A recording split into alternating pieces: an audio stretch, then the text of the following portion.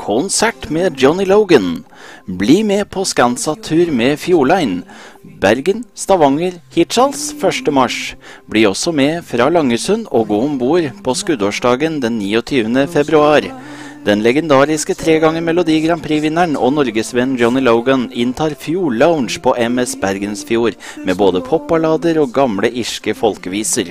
Så har han toppet de norske hitlistene og solgt godt i en rekke land, så her ligger forholdene godt til rette for en stemningsfull konsertopplevelse. Skansat gir deg en eksklusiv pris, 340 kroner per pers, to døgn tur-retur. Bookingkode på nett er HCD287, eller ring telefon 815 33 500. For the last time, hold me now. Don't La Skansat Radio være hjemme.